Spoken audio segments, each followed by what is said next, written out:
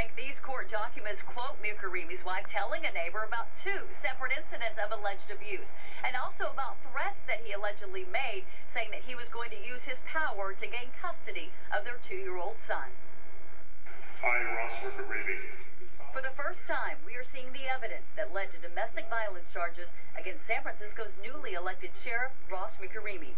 Eliana Lopez describing a confrontation on New Year's Eve, accusing Mirkarimi of going ballistic. According to the affidavit, on the January 1st video, a visibly upset Lopez points to a bruise on her right arm and says, quote, this happened yesterday, two times in 2011, and this is the... My husband. That's what Lopez told reporters earlier this month on the day her husband was sworn in as sheriff. Have her. And she also talks about their troubled marriage. Quote, I've been telling him we need help, and I'm going to and can do it.